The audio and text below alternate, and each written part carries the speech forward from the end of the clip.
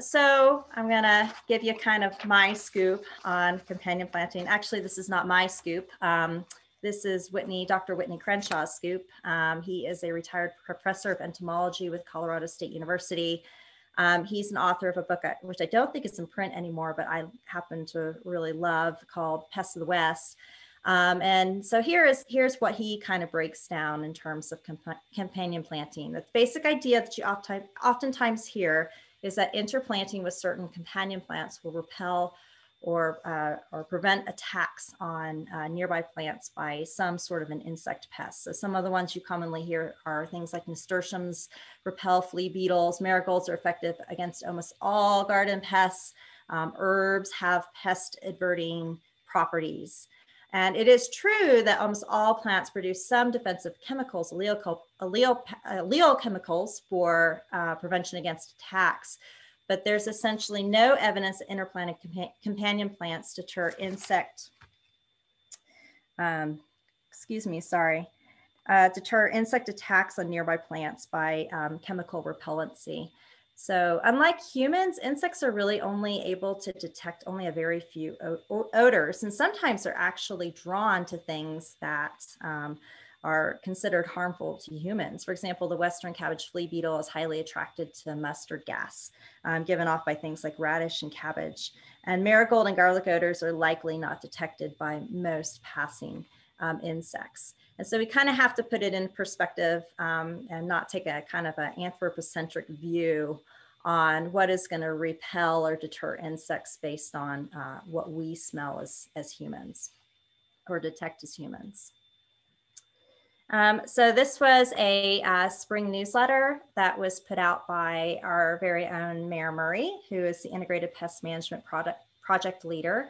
This was uh, back in 2010, and I really liked um, her analysis of companion planting. She combed some of the literature and provided this. She said, uh, companion plant, vegetable planting for home and local markets. It's, it's a historical concept. It's passed between generations from neighbor to neighbor.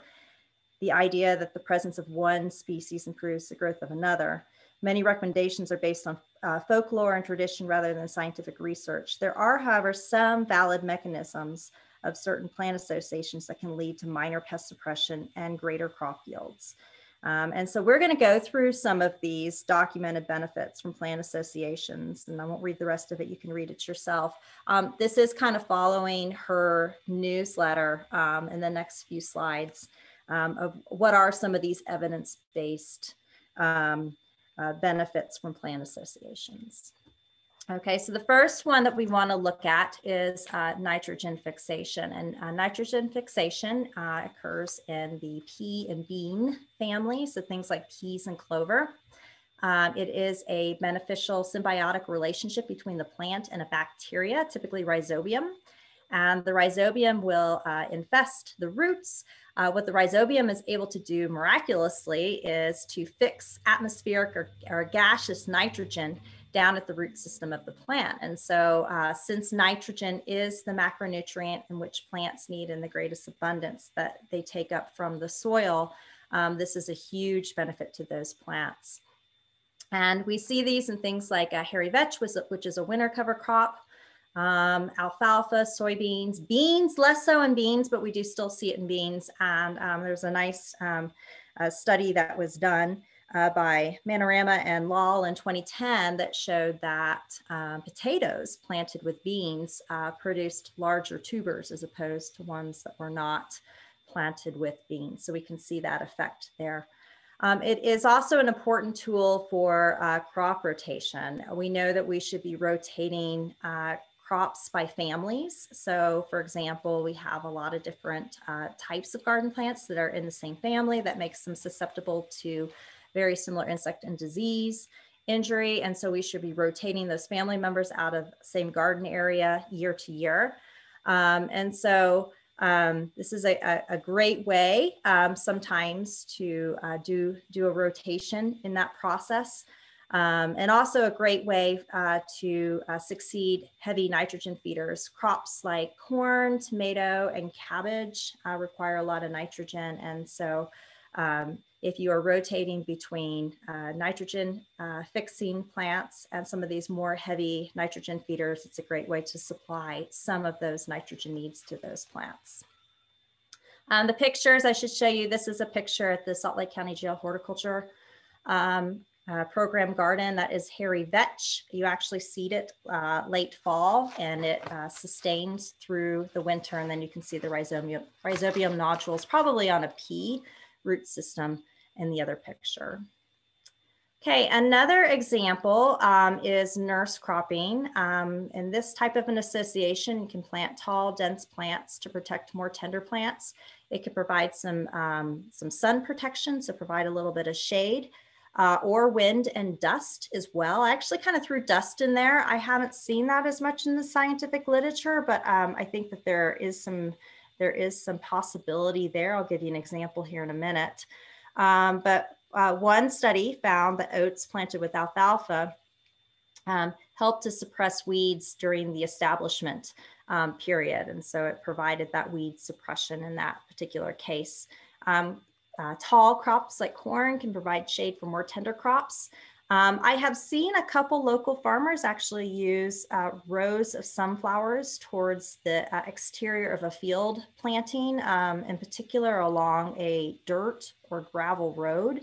We know in those types of conditions, we're going to have a lot of dust that's getting kicked up and that dust can move into the field. And some things like spider mites, for example, uh, really prefer hot, dusty conditions. And so that's a way to try to trap or keep that dust from moving into that, that field situation. So those are just a few examples. Okay, moving into pest suppression. Um, there are a few examples there as well. Um, chemical exudates from certain plants uh, have pesticidal properties. One example is marigolds of this particular species produces a compound lethal to the Mexican bean weevil uh, through the leaves, I believe the stem as well, and cabbage maggot larvae um, through the roots. Um, another example is uh, mowed down rye grain residue. So this is rye grain that was uh, mowed down. Okay, so it was kind of crimped down. Um, it's used as a mulch to prevent uh, weed germination. Um, but if you're planting with transplants, with small plants, um, there was no harm to the transplants across a, a, range of different vegetables. And so that's another example there. Um, also, mixing plant varieties of the same species may circumvent insects' ability to adapt to natural plant defenses. Uh, so there's a nice study here where uh, different uh, barley cultivars were mixed in a field and it showed uh, reduced aphid feeding compared to um, a field that was planted in only one cultivar of barley. So I guess what I want to kind of start to uh, express through uh, some of these examples is that there are definitely some of these associations that occur through companion planting, but it's not broad across the board. It's very specific circumstances, specific plants having associations with spe specific insect pests. And so you have to be careful there. Um, so think about that as we move a little further in the presentation. Um, so mixing plant species, um, sometimes this can cause an interference with visual or olfactory orientation of pests to their uh, favorite host plants. So uh, insect pests uh, don't typically have a broad range of hosts that they prefer. They have specific hosts that they prefer. Um, so they're trying to find members, they're, they're, trying to find that particular plant or that, that particular family of plants. And so uh, one way this was uh, mentioned was security through diversity. And I liked that. So the more confusing you can make your garden, the more difficult you can make it for an insect pest to find its favorite host plant, possibly the better off you're going to be in terms of not seeing uh, large increases in, um, in that in insect pest population. Um, and those of you that uh, have listened to some of my lectures in the past know that I'm a big fan of uh, creating refugia. Uh, another name for this could be insectary plantings um, for beneficial insects. And so these are flowering plants. Um, typically, they're flowering plants that are rich in pollen and nectar. And we want to think about some different considerations. For example, you want to provide a continuous source of blooms. So you want to have early spring blooming, late spring, early summer, late summer, early fall, late fall blooming. So always a source of, of, of pollen and nectar available. Um, which is going to provide uh, not only a food source, it could be pollen, it, it very much could be nectar. And uh, sometimes beneficial insects actually consume uh, nectar in certain portions of their life cycle. Um, and so uh, to sustain populations, to keep them around um, through different, through the entire life cycle, it's really important to have um, flowering plants and nectar sources there, they're available for them. It could be just the larvae, for example, that's eating insect pests that gives you that pest control. Um, also, uh, refugia is going to create shelter um, for beneficial insects, uh, hunting grounds. Um, and I liked, I uh, saw a publication um, on beetle banks. I'll talk to you about beetle banks here in just a minute um, from a uh, southern farmer that said that sometimes they can provide meat meeting places too. So we have a lot of beneficial insects around. They have the opportunity to meet each other, and that can really help in terms of reproductive uh, success as well. So um, really that refugia is, is very important in terms of attracting and also retaining beneficial insects in and around a garden area or landscape. So just want to give you a few examples here. Um, before you worry so much about feverishly writing all of this down, I'm going to give you a place at the end of the presentation where you can pull up a PDF of these slides. So no worries there, okay? Um, lacewings. Um, lacewings prey upon a lot of different things, but um, actually in the middle, we have a lacewing larvae. These are actually called aphid lions. They are so voracious. They, they get the hangries when they hatch. Um, and they are such voracious eaters of aphids. Actually, if their uh, prey is not right there uh, when, uh, when they hatch and become these larvae, then they will actually consume each other. And so they are wonderful, wonderful um, uh, beneficial insects, predators of aphids um, in, in, the, in the garden and the, the field settings. Um, the eggs are laid on these silken strands. Some of you might see that sometimes. Um, of course, you can see the larvae in the middle and then the adult. Um, you have green and brown lacewings. They're actually attracted to lights at night. So that's one time when I actually see quite a few of the adults out. Attractive flowers are things in the carrot and sunflower families, um, uh, buckwheat, and what's that last one there? Oh, and corn as well. Okay, parasitoid wasps. Um, these are uh, exceptionally good natural enemies in our landscapes. Um, oftentimes they're quite tiny. Um, so you may not know you're looking at them unless you, you look kind of hard and you'll see them. Um, they prey upon things like um, aphids, armyworms, cabbage worms, codling moth, beetle larvae, flies, and caterpillars. Um, they are parasitoids, so they're actually laying their eggs inside or on their host. As these eggs hatch, they will consume that host. So sometimes you can see evidence evidence of this in the landscape. It's, it's pretty brutal. I like to say, be happy you're as big as you are in your garden because if you were about two millimeters high, it would be a very scary place for you to be. There would be a lot of things that would want to eat you, uh, including these guys maybe. Um, attractive flowers are things like caraway, dill, fennel, parsley, white clover, mustard, yarrow, sunflower, hairy vetch, buckwheat, and crocus. Um, and we have, of course, this to tomato hornworm there that, oh my gosh, it's lunch. Not a good prognosis for that, for that hornworm. Okay, ladybird beetles, many of us know this, or ladybugs, uh, prey upon aphids, mealybugs, spider mites, soft scales, um, attracted to a lot of different types of flowers, caraway, dill, parsley, fennel, white clover, goldenrod, mustard, yarrow, sunflower, buckwheat, hairy vetch, and others. Um, you are going to see a lot of herbs being repeated, and you should, um, in my opinion, plant more herbs than you plan to consume in your garden and um, allow a portion of them to go to flower because they really do help to attract a lot of these sorts of things.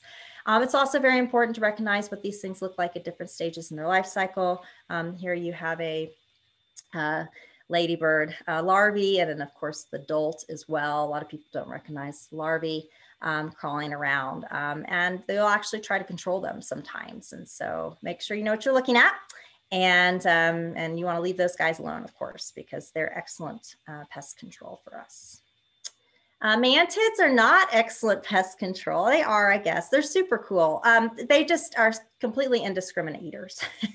they eat anything they get their raptorial hands on. Of course, insects don't have hands, but um, uh, but they are super duper cool and um, extremely photogenic because they hold perfectly still. It's one of the things I love the most about mantids. But um, they are going to like permanent plantings. And so they're going to want things like brambles, so blackberries, raspberries, um, hedgerow plantings, um, cosmos are some of the types of um, plants that are going to attract them.